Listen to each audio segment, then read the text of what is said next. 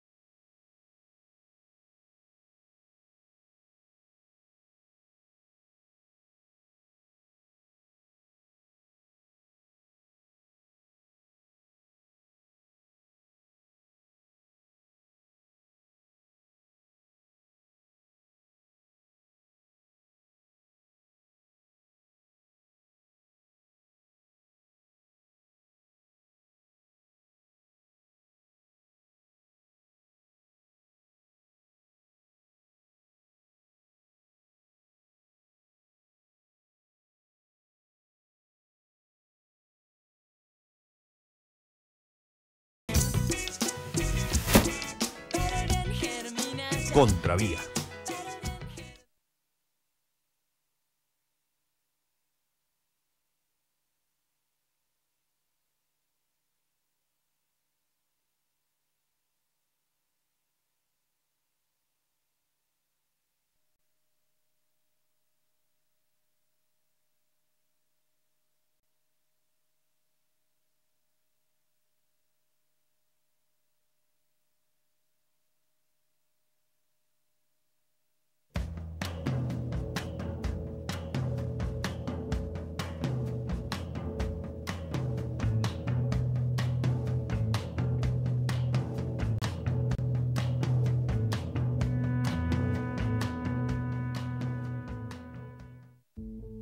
El país está consternado, otros sectores están aterrorizados del solo hecho de saber que miembros de la inteligencia militar hubieran sido capaces de montar actos terroristas para presentar positivos.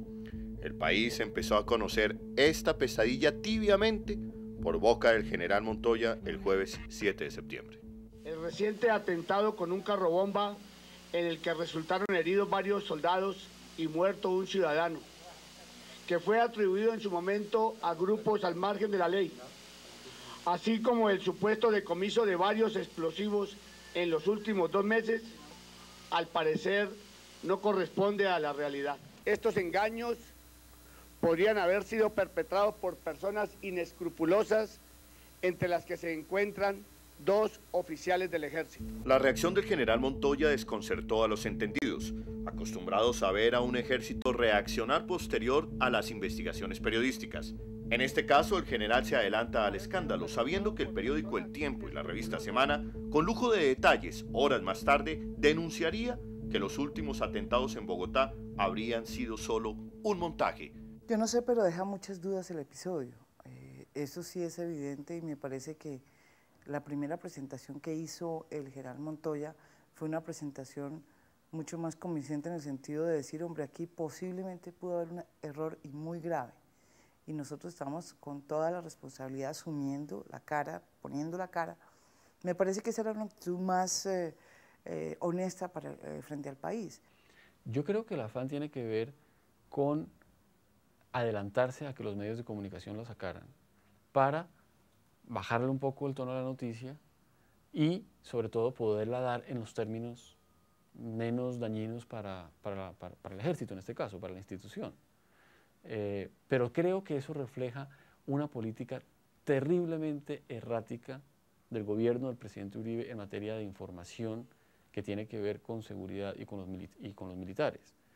En varias oportunidades el presidente ha actuado eh, en formas tremendamente distintas, eh, repito, sin ninguna coherencia.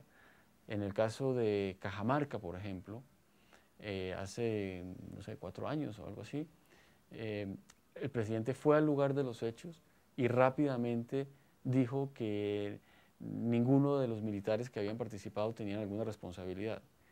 En el caso de Guaitarilla, en Nariño, ha habido toda clase de investigaciones, se pasan la pelota, eh, en el caso de Jamundí, igualmente, a veces el presidente destituye muy fácilmente a un general, como en el caso de las torturas del, Tolima, y a veces sale a, a defender, como parecería ser la última tendencia del caso de los montajes, a pesar de que el propio comandante del ejército, yo me imagino que con conocimiento o por instrucciones de sus superiores, que son el presidente y el ministro de Defensa, salió a afirmar que, que había oficiales de las Fuerzas Armadas involucrados. Aquí yo lo que veo es que el gobierno no tiene una política clara, que caso por caso actúa y dependiendo, no sé, de, de, de, una evaluación muy poco rigurosa, seguramente pensando en los efectos de corto plazo, pues unas veces es muy estricto y otras veces es muy eh,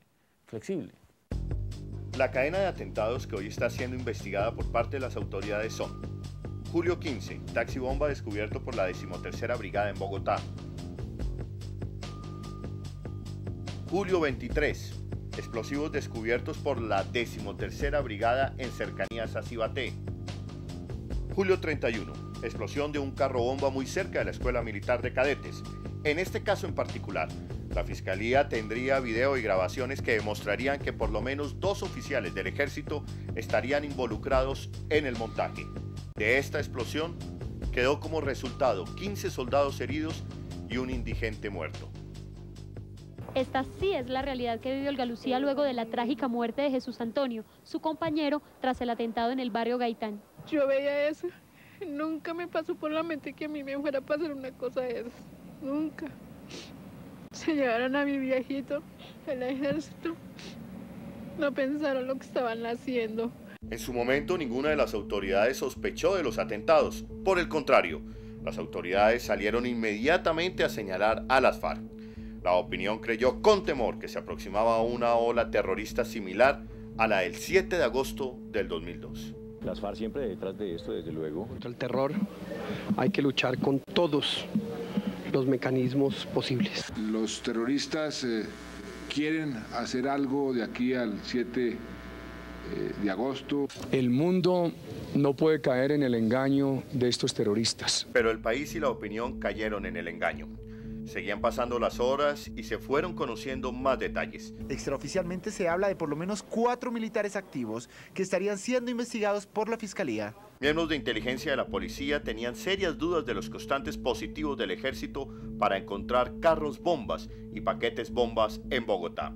Y al parecer en un Consejo de Seguridad de Bogotá presidido por el alcalde se habría insinuado la posibilidad de los montajes.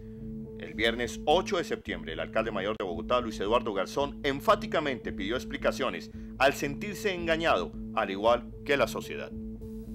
Sí creo que nos merecemos, y yo en particular nos merecemos una explicación, por si no queda uno como un gobernante propio del idiota útil, que recibe información y aplica una política. Y eso no me parece justo. El alcalde Garzón apunta a que la estrategia de recompensas, pilar en parte de la política de seguridad democrática, no es saludable y nuevamente se pone en tela de juicio. Se ve que yo nunca promuevo recompensas. En Bogotá siempre hablamos de resistencia civil y lo hacemos. Porque es que la yo siempre he estado contra la recompensa porque una de las responsabilidades que tiene el ciudadano es informar. Un ejército tiene que funcionar mucho alrededor de su honor militar, de su rectitud. No hay nada más importante que una persona que tenga armas en la mano tenga una ética muy, pero muy recta, porque es que las armas son las armas. Estamos hablando de vidas humanas. Entonces, eh, el premio para un militar es la condecoración merecida, el ascenso, la felicitación escrita y demás. Así nos, nos formamos todos. Últimamente esa cultura de la recompensa eh, lo que hace es eh, eh, afectar la moral del ejército. El dueño de este taxi involucrado en el falso atentado del 17 de julio reveló que miembros del ejército lo engañaron y lo obligaron a cobrar una recompensa de 5 millones de pesos. Los uniformados le quitaron el dinero dejándole solamente 300 mil pesos. Por eso decidió hablar con las autoridades.